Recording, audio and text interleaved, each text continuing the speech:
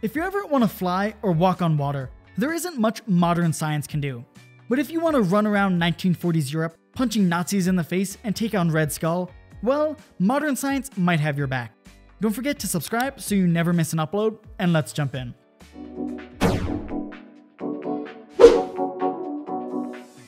In 1941, comic book readers were introduced to a scrawny kid with a heart of gold named Steve Rogers. At the time, he didn't have the chops to join the army, but his character and a little luck landed him a spot in a secret super soldier program spearheaded by Dr. Abraham Erskine. Rogers was given a super soldier serum, placed in a Vita chamber, and was bombarded with radiation. He emerged not superhuman, but at the absolute peak of possible human performance. But what was the secret treatment that went down with Erskine? Well, you could potentially make a Captain America style super soldier with a combination of drugs. A cocktail of anabolic steroids and human growth hormone could have given Rogers raging muscles. They're what allows these bodybuilders to look like this. Anabolic steroids promote protein production in skeletal muscle and increase muscle rebuilding following exercise, which would explain Captain America's overall change in physique as well as his super strength. But while these drugs would improve his strength, they wouldn't do much to affect his stamina. For that, the captain would need to be increasing the amount of oxygen available to his cells by blood doping. Blood transfusions, where red blood cells are taken from the body to be reintroduced prior to high endurance activity, increase red blood cell amount, which deliver vital oxygen to muscle tissue across the body.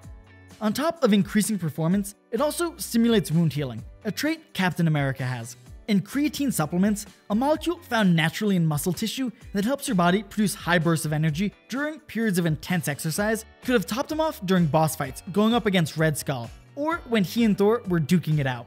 So, a cocktail of steroids, muscle enhancers, and constant blood transfusions might be able to make a super soldier. But we never saw any of that in the movies, and even the comics didn't touch on it. A much better approach to creating a Captain America style super soldier that fits much more closely with what we see in the movies is that the serum affected Cap's DNA.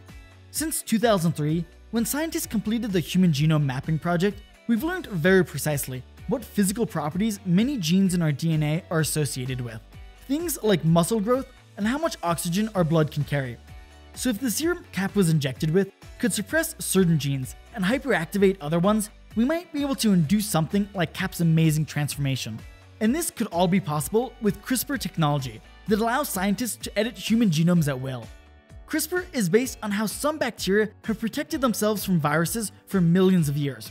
When certain bacteria encounter viruses, they capture snippets of virus DNA and incorporate it into their own DNA. This allows the bacteria to remember the viruses and how to fight them, in case they ever run into the same virus again. Kind of like how the human immune system can remember viruses even decades after their first battle. Scientists figured out they could use this same process to add or delete genetic information in any organism, even humans. The CRISPR technology could deactivate certain genes, like those that code for fat storage, and could increase the activity of other genes, like those that code for muscle growth and development. In fact, this has already been done, like in these dogs. But the secret super soldier program needed to pump out thousands of soldiers for the war, and couldn't afford long operating and recovery times. This is where the Vita Ray chamber comes into play.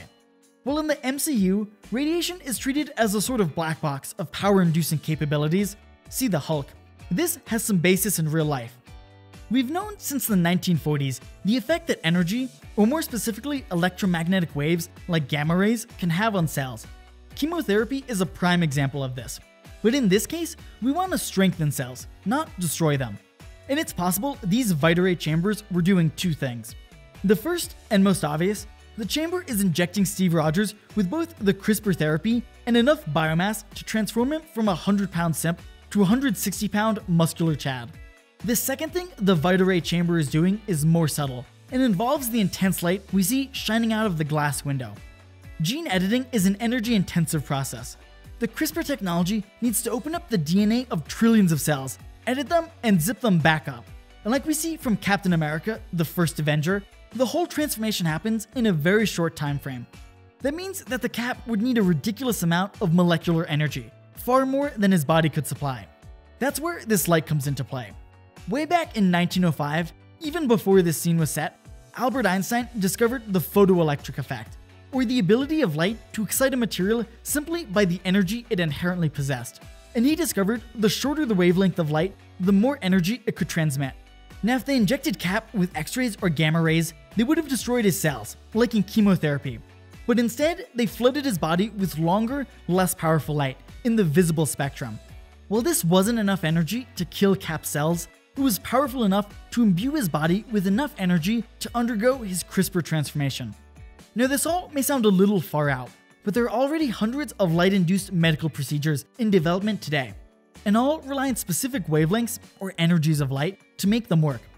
So, this technology, surprisingly, could be grounded in reality with modern day science. Give gene editing a few more years to progress, and who knows, we might be running around with an army of Chris Evanses. what a world to live in. So, it looks like even with modern day science, we might be able to replicate Captain America after all. But what do you think? Could CRISPR technology explain the Cap's transformation? Be sure to let us know down in the comment section below. Have a great day, and remember, there's always more to learn.